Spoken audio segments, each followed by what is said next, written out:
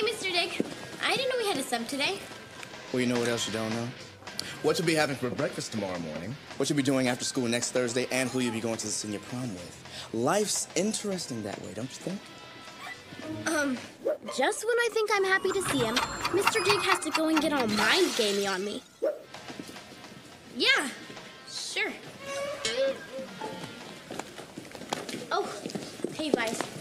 My dad is being so weird. He wants me to have dinner with him this weekend. Uh, don't you have dinner with him every night? Well, me bowling on Friday night is pretty much guaranteed to be worse than your dinner on Saturday. Gordo. Bowling is fun. Bowling is good. Bowling will not make my fingers swell. Good boy.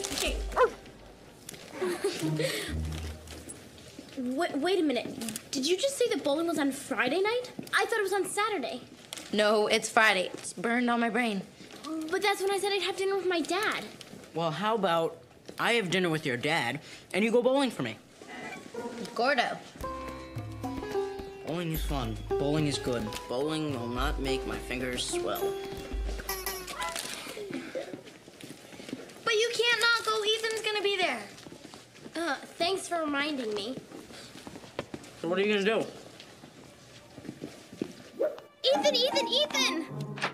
Cancel my dad, of course. Uh, what else am I supposed to do? I- it'll be fine. He'll totally understand.